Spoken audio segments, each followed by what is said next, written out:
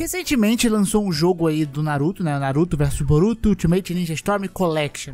Saiu para tanto PlayStation 4 quanto PlayStation 5 pelo valorzinho bonito de 300 reais, né? Full price padrão de lançamento aí. Entretanto, ontem aí a galera começou a indagar e a criticar o game por estar utilizando inteligência artificial. Pois é. E na dublagem, algo que a gente já viu antes. Eu já fiz uma denúncia aqui no canal, inclusive. A gente vai comentar sobre isso aqui hoje. Então deixa seu like, se inscreva aí no canal, clique na descrição para concorrer ao PlayStation 5, beleza? E vambora pro nosso vídeo. Bem, a inteligência artificial chegou para ficar, basicamente. Eu não vejo um grande problema, porque ela auxilia muitas coisas. Entretanto, ela também é uma solução mais barata e porca em alguns casos. Em casos que você realmente não tem um orçamento, ela pode ser uma solução que te ajuda.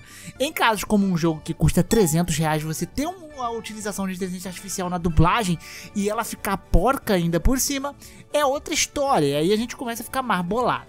E bem, acontece que ontem as pessoas viram que o jogo tem alguns trechinhos que estão com dublagem em inteligência artificial. E o negócio piora.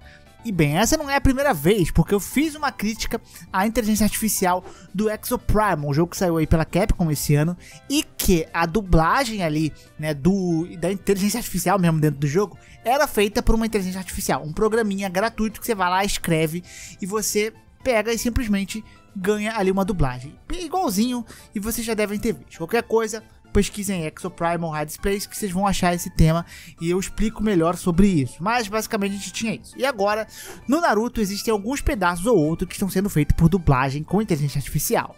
E bem, o legal é que eles têm uma comparação, porque esse jogo ele tem cenas, né? Os jogos de luta do Naruto, eles meio que recontam a história do anime. Então tem cenas que já foram feitas em outros jogos e são usadas de volta aí nos games de Naruto, né?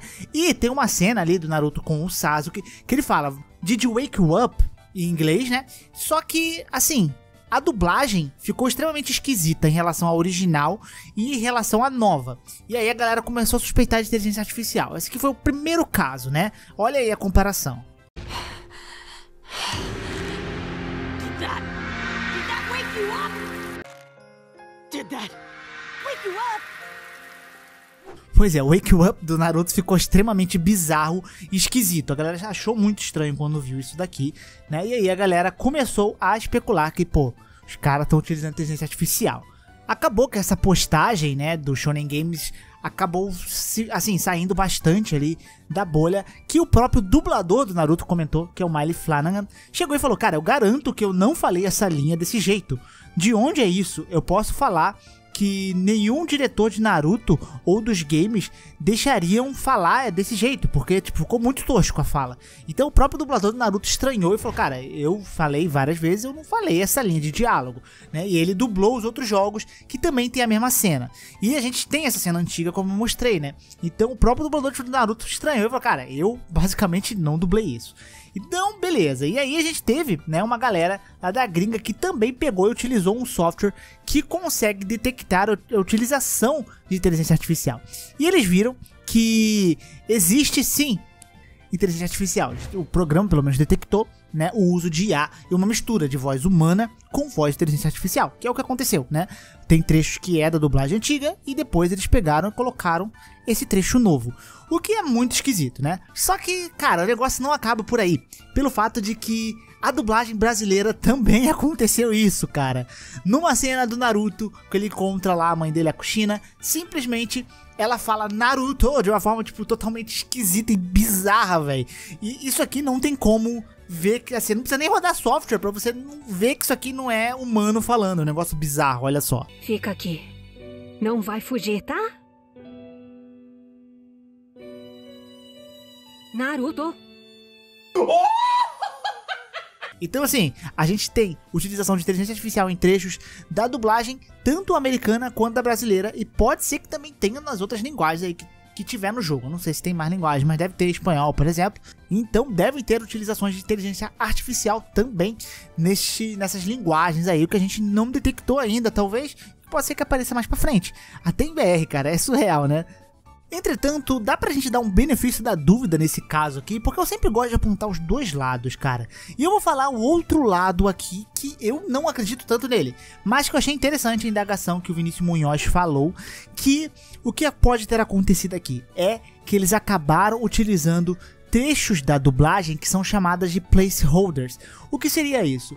Antes do jogo ser dublado, né, às vezes rola esses placeholders, que é ou uma inteligência artificial falando de fundo, ou uma pessoa que não é dublador, às vezes o próprio desenvolvedor dubla de uma forma totalmente tosca ali, que é só para poder saber fazer aquela sincronia de movimentos e tal, pra aí jogar a dublagem oficial por cima. Um exemplo que aconteceu isso foi na demo do Lies of P, que a gente tinha ali um NPCzinho burrinho falando e que a dublagem era um negócio totalmente tosco. You cunning rascal, you won't get through here, die. E os desenvolvedores falaram, não, isso aqui é só um placeholder, isso vai sair na versão final, é só da demo que tá assim, né? E de fato, na versão final, a dublagem do Lies of P é perfeita, funciona normalmente. Então, assim, pode ser um placeholder isso aqui, porque, né, por um lado, é muito estranho, porque, tipo, ele já tem essa dublagem eles já tinham esse trecho de dublagem do Naruto falando de Wake Up. Por que diabos eles iriam colocar uma IA por cima? Será que eles perderam o áudio original e não conseguiram colocar? Enfim, me parece que realmente pode ser um placeholder. E no caso, né, houve algum tipo de bug ou algo assim que saiu esses trechos de placeholders e não foram substituídos pelo áudio que deveria ser o original. Mas, cara, tem uma coisinha que não me desceu muito bem. É porque na versão em inglês, quando ele fala Did you wake you up, ele aparece a legenda Did you wake you up no original. Na versão que tá feita com a dublagem com IA, a legenda corresponde a IA. Então ele não fala Did you wake you up ali na legenda, ele fala Wake you up, que é a mesma forma que a IA dublou. Então eu falei, pô, é esquisito porque se fosse um placeholder, a legenda iria aparecer Did you wake up, mas a dublagem iria falar Wake up, da forma estranha que ficou. Isso não aconteceu. Então a legenda correspondeu com a IA. Então, cara, eu acho que não foi placeholder. Pode ser, pode ser. Sempre dou o benefício da dúvida. Mas, para mim, não é. Não parece. Eu acho que aconteceu alguma coisa. Talvez na, sei lá, renderização, na hora de fazer alguma coisa, cortou trecho desse áudio, ficou bugado, e para eles não fazerem tudo de novo, ou eles perderam, sei lá, o áudio original, né? Às vezes só tem o áudio do jogo, mas aquele áudio não é o arquivo cru e eles falaram, pô, a gente perdeu esse trecho aqui, né? Ou quiseram modificar esse trecho não queriam chamar o dublador de novo, foram lá e tacaram uma inteligência artificial. Eu acho que esse é o cenário mais provável aí, na minha opinião. Mas, cara, é muito esquisito né? esses trechos de IA. Eu acho que a galera ainda vai detectar mais. E lembrando, né, cara, isso aqui é um jogo de 300 reais. Ele já tá sendo bem criticado pelos jogadores, nem por causa disso pelo jogo em geral, pelo visto a conexão do jogo não tá muito boa, mas você tem mais isso daí, né, um jogo que, pô, você vai pagar um full price e você não vai ter um trabalho decente, um trabalho de dublagem decente, os caras vão ruxar em algumas coisas e apelar para inteligência artificial é um negócio que incomoda e muito a gente, né? No geral ali.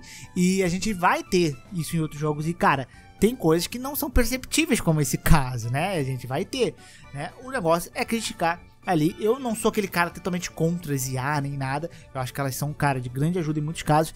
Mas são casos e casos. E tem casos que, pô, se você quer utilizar a inteligência artificial para baratear o projeto, você barateia o custo final desse seu joguinho. Lança por 40 dólares. E não é o caso. Mesmo assim, eu acho errado, tá? Eu acho que mesmo por 40 dólares o jogo tem que ser feito. Os jogos 40 dólares são feitos normalmente. Por que, que esses jogos não podem ser feitos sem utilizar IA e ser vendido mais baratos, né? Eu acho que eu só aceito no mínimo quando é um desenvolvedor, três pessoas, sei lá, fazendo um joguinho. E os caras precisam apelar uma vez ou outra porque os caras não têm dinheiro, sabe? Mas um, um estúdio grande, eu acho que é é inadmissível no meu ponto de vista. E a gente já teve. É o segundo caso, né? Porque a gente teve o caso com o Exoprimal que eu falei aqui. Mas basicamente isso aí que tá acontecendo. E a galera tá bem chateada com o que tá acontecendo com esse jogo. Vamos ver o que a Bandai vai falar. Eu acho que eles vão arrumar a desculpa do placeholder. Mas eu acho que não rolou placeholder, cara. Eu acho que não é esse. Eu acho que eles realmente fizeram propositalmente e perderam o áudio original. Eu acho. Mas é isso. Espero que tenham gostado desse vídeo. Um grande beijo, um grande abraço. Um beijo, popô. Até a próxima. E tchau, tchau.